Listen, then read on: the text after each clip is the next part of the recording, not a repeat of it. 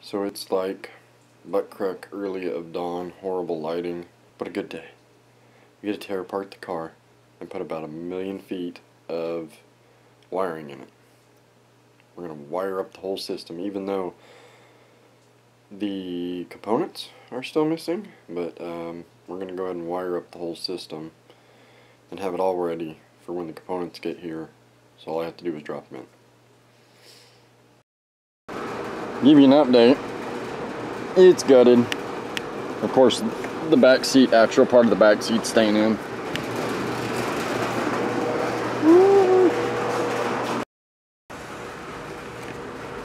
Alright, give an update. 9 pin. I gotta run a 9 pin plug or wire from all the speaker wires up, down, back around, and behind me. That's gonna be fun. I'm getting ready. Um, got all four speakers tagged in and all I got to do is dig down the remote wire and tag it in for the ninth pin. Yep, it's getting there. See all the wires. Now the reason you have nine wires, you have four sets of or yeah, four sets of speakers, so that's eight. The ninth one is your amp remote, which is just an accessory I tagged off. It's up in there, up in here somewhere. It's right here. It's a red wire that was the best ignition I could get. And then all these have to be connected to the right speaker. White being, uh, what is it, front left, gray front right, green is left rear, and somewhere in here is a purple uh, right there, which is a right rear. Yeah, there, sorry. So yeah, I get them all plugged in, get the head unit back into place, roughly back into place.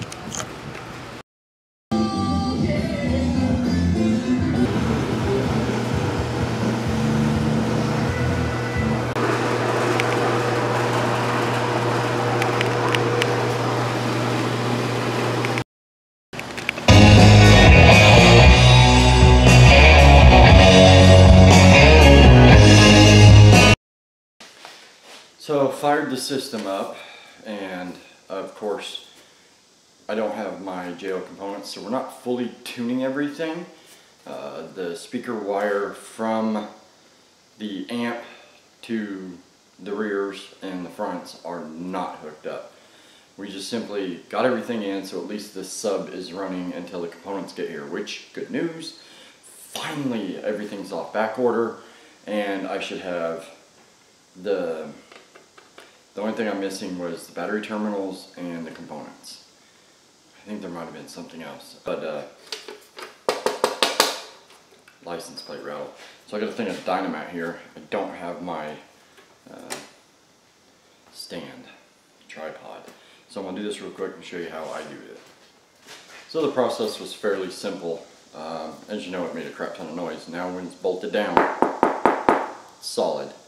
Another way I did that is I simply took real thin strips of the Dynamat, wrapped one up inside the license plate frame, and then put three strips, and then it still didn't work because the bottom isn't secure enough. So I took the four strip, stripped it across the bottom to tie the license plate to the actual bracket itself, or to the license plate frame. So let's go see if it fixes it. Well, fixes the license plate.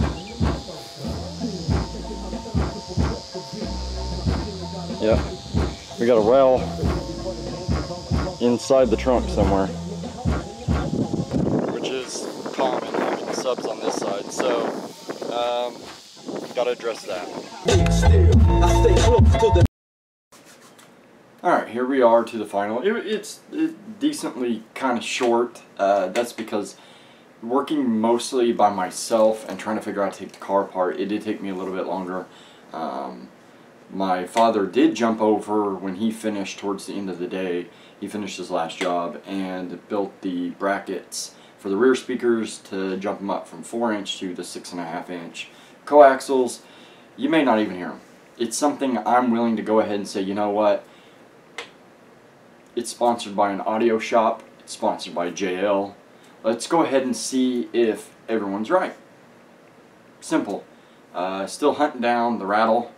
Now the wires from the amp, the other four channels, which basically what I'm saying is they need to go from the amp to the rear speakers and the amp to the front components. That I didn't have time to run because like I said I was out of time. We wanted to really just get the sub up running, get it broke in. Uh, so right now it's running a lot lower wattage than I can throw to it and the bass knob is still turned about 3 fourths and the sub isn't even broken it's just gonna get louder. So again this is not a headbang system. I don't want that. That anybody with a credit card can build one of those. We've built hundreds of them if not even more at the shop. And it's kind of got to the point where you know I said I want to go I want good sound quality. Mike's doing the same thing. My brother's getting ready to rip out all his crap and do the same thing so you'll see Mike's build actually you'll see Mike's car really soon it is a newer Mustang can't remember what year he whoever put the stripes on the car did a piss ass poor job of it there's a little scoop and they left a gap of about one inch all the way around the scoop that had no stripe on it because they couldn't figure out how to wrap it down into place. It's not hard, even with standard vinyl. I'm going to do it. Because to find the silver we wanted, it took a lot of samples because we wanted to match the silver, which is a bright, non-metallic silver, to his wheels. He's, he's got new, real nice concave wheels. You'll, you'll see it. Um, you know, they're decent, they're pretty damn wide on the back and decently wide on the front.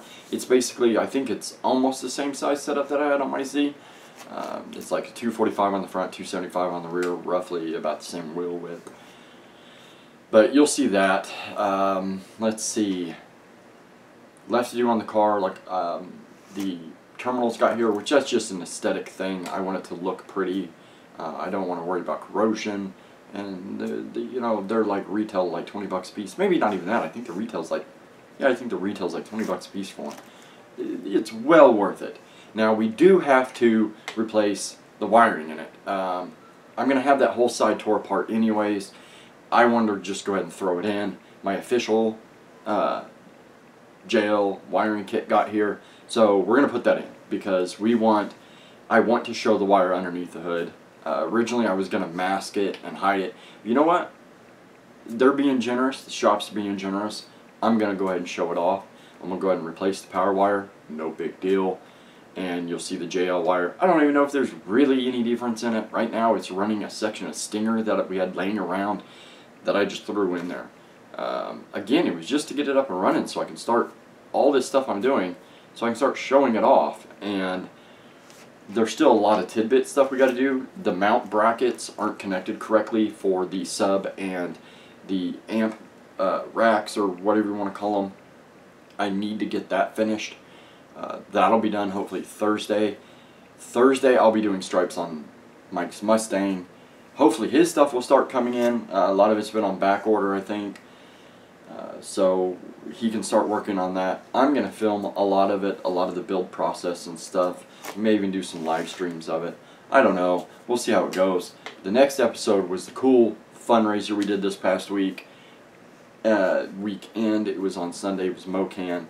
And I'll talk about that on the next episode. But for now, thanks for the support. Don't forget, smash a like, subscribe to see all the junk going on.